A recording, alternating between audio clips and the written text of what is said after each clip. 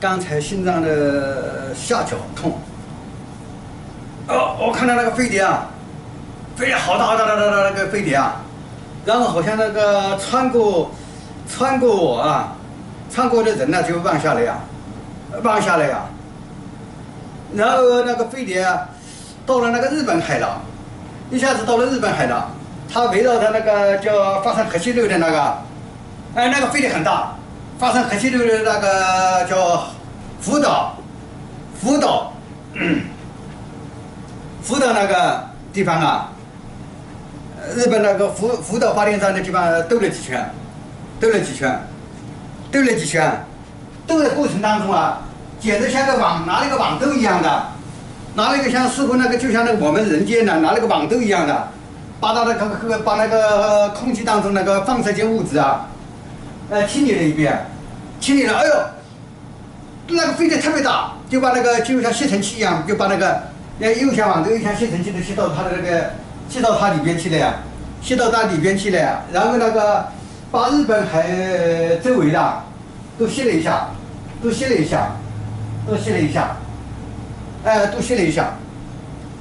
都吸了一下。然后那个应该在，然后那个在日本日日本岛啊，整个岛都吸了一遍，吸了一下。他说了一句话：“用核的日子啊，快要结束了。用核的日子快要结束了，也就是按照我以前临排出来的那个情况知道，日本啊那个外星人呢，已经把在地球上的那个核物质啊，在在包含在地地球里边的。”已经已经吸干净了，拿走了，以后就就体验不到这那玩意儿了。然后呢，他下午的计划就要把那个已经人工搞出来的东西啊，就会把它拿走。以后核武器在那边啊，里边也就空了，也就空了，也就空了。好，这个时候我看到那个啊，发了看到那个俄罗斯的那个核潜艇了，核潜艇了，没有核动力了，没有核动力了。也就是说，没有核动力的核物质已经把外星拿掉了，核物质把外星拿掉了，所以大家请注意了啊！这个事情我讲过很很多次了，因为人家也不会相信这个事，我也没有多强调。但是散在我的临牌案例里边，我讲过这个事，就核物质啊，先把地球上清理完了以后，把那核武器啊、核物质都一点点清理掉，然后前两天俄罗斯发生的那个核潜艇的故障，人家说火灾。实际上不是那回事，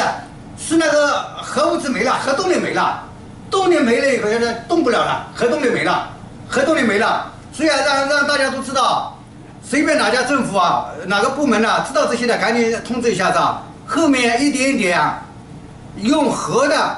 作为动力的也好，核武器也好，核电厂也好，后面你眼睛看起来好像没没变化，实际上里边的核物质已经被外星人慢慢慢慢拿掉了。所以啊，俄罗斯的核潜艇是没动力了，核武器拿掉了。美国也要注意了，它的慢慢慢也也被那个外星拿走了。然后也就是说没有这个动力了，然后核武器就是一个空炮筒，就是一个空炮筒啊，就是一个空炮筒啊。好，再见了啊，再见了，再见了。